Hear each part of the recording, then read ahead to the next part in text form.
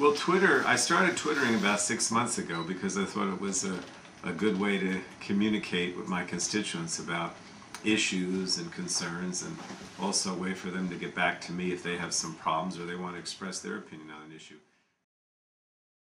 Today we had our first uh, Twitter town hall, and we thought we'd try something different and not just have the regular Twitter site, but have actually a town hall where people could, uh, you know, kind of zero in for a couple hours.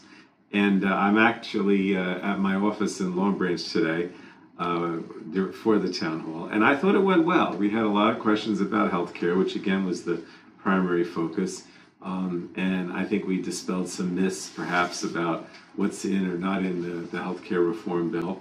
And of course, today, because the Senate uh, voted cloture um, on their bill last night, a lot of the focus was on the Senate bill and what happens once the Senate passes the bill, and then we go to conference between the House and the Senate. So I thought it was very worthwhile, and we should definitely do it again.